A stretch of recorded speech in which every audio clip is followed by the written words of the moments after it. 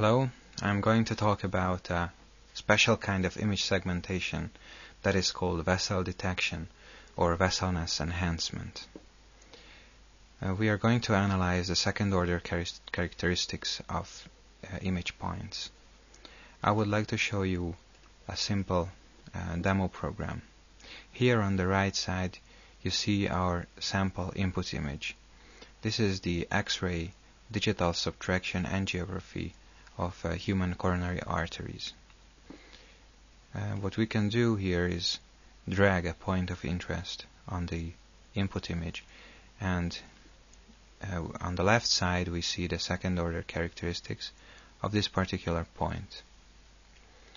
Uh, what we analyze here is the Hessian matrix of uh, the small neighborhood or close neighborhood of a point. The Hessian matrix consists of the second order derivatives of the image at a certain point. This matrix is uh, 2 by 2 uh, in case of two-dimensional images and it's always symmetric being the off-diagonal elements equal. Uh, so what you should uh, note is that we are computing four different values uh, being 2 equal for each image point. So returning back to our uh, program. The next thing that is displayed on the left panel is the eigenvalues of the Hessian matrix by red numbers and the corresponding eigenvectors um, by green lines here. Of course, um, the orientation is the only thing that, that is important um, of eigenvectors.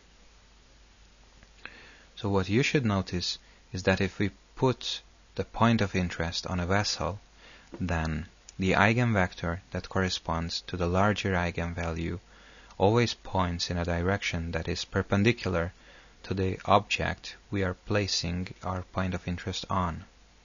So if we are dragging our point to a horizontal vessel, then the eigenvector of the larger eigenvalue will be vertical and if we drag our point on a, a vertical structure then it will be horizontal. And of course this is always true. So for example here you see that this direction is perpendicular to this part of the vessel. The computation of eigenvalues and eigenvectors are very simple in this case. If you consider the definition of eigenvectors and eigenvalues of a matrix then you can see that the computation of eigenvalues is just as simple as solving a quadratic equation. And uh, when you have the eigenvalues, you can back substitute them to the original equation and get the corresponding eigenvectors. So this computation can be made in real time. The other two characteristics that we will talk about is structureness and anisotropy. Um, both are computed from the eigenvalues. Anisotropy is a value that is high only if at the close neighborhood of the point of interest the change in image intensity is great in one direction and small in another perpendicular direction. Of course, these are directions of the eigenvectors. Structureness is only a quantity that is high only if there is a, a big change in image intensity in the close neighborhood of the point of interest. Now, of course, uh, vesselness or probability of the pixel belonging to a vessel is uh, a value mapped between 0 and 1 and this is big only if both anisotropy and structureness is big. This constraint um, should be made because we have uh, dark objects on light background. This inequality should be reversed if you have an image of dark background and light objects. So returning back to our original image, if we place the uh, point of interest on a homogeneous area, then we can see that structure structureness is low. This means that we have no significant change in image intensity in this neighborhood and of course anisotropy is also low. Now if we place the point of interest uh, near a corner then we can see the structureness is high.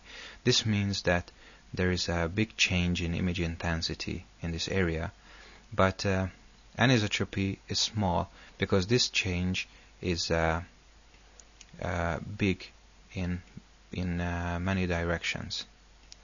But if we drag our point on a vessel, then we can see that both structureness and anisotropy is high. This is because there is a big change in image intensity in this area, but this is big only in in uh, in this case the vertical direction, and in the horizontal direction there is almost no change in the image.